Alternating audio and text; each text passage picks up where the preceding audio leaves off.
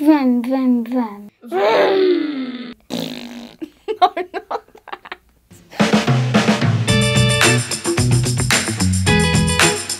My dream car would look like um, a really long and big one so we can go camping in it. Doors that when you lift up it goes up in the air. Yeah. Monster truck with a blue colour and really big wheels. I want it to be like a van. Mine will probably be a flying car. A camouflage um, army jeep. Don't even know what myself hearing. I've heard of the word, but I don't exactly have a full explanation of what it means. Something that is just being burned and making like fumes. It's when you use power created by the earth. Um, I think it's kind of like the engine that's at the back of the car. Gas boiled fossils.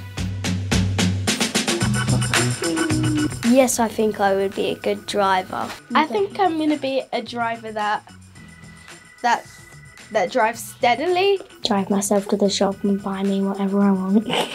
Sometimes I'll go fast, but sometimes I'll be Uh. probably slow as a snail.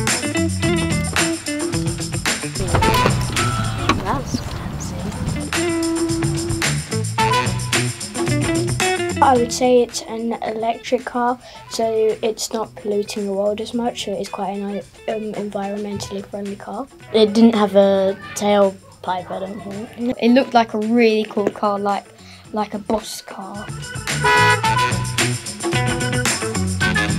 They've got a heating steering wheel as well. I spotted that.